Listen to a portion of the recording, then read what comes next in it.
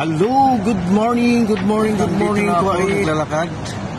Papasok na ako sa trabaho, mga ka-viewers ko dyan dito sa bandang sa bansang Kuwait. Mayong mayong udto sa Pilipinas karon po ngayon. Nandito ako naglalakad. Yan po, papasok na po ako sa Namin, yan po. Opes. Dito lang po sa Onsok, Salmia. Yan.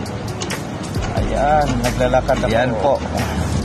Yan. Yan lang office namin, no? Sa Grand Hiker sa loob. Sa ground floor. Door number 3. po, may naglilinis dito. Kumusta, kumusta na kayong lahat dyan? Mga OFW ko, bansang Kuwait. Pasensya na po, ngayon lang po ako naka-live ulit.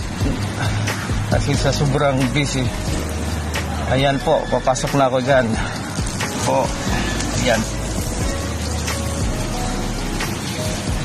Agang-aga, maagang-aga sa umaga, papasok na naman.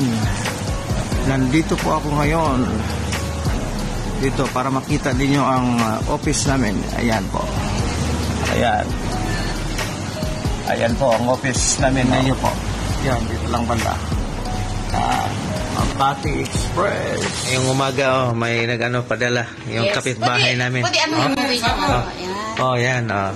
Yan siya ang nag-impake, oh.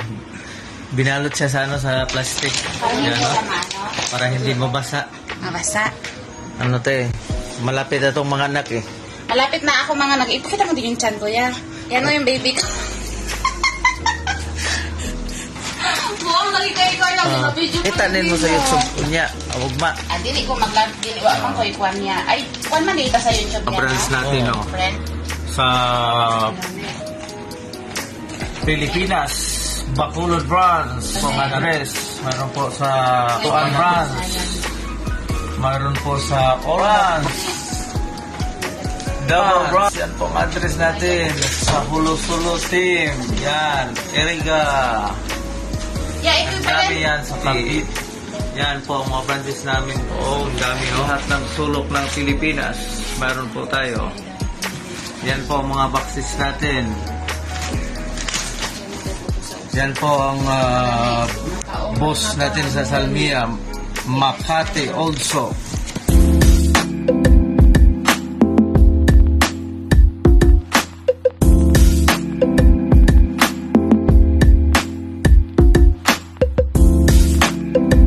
Okay, ano po ang address na ni Kabayan ni Ma'am Janet.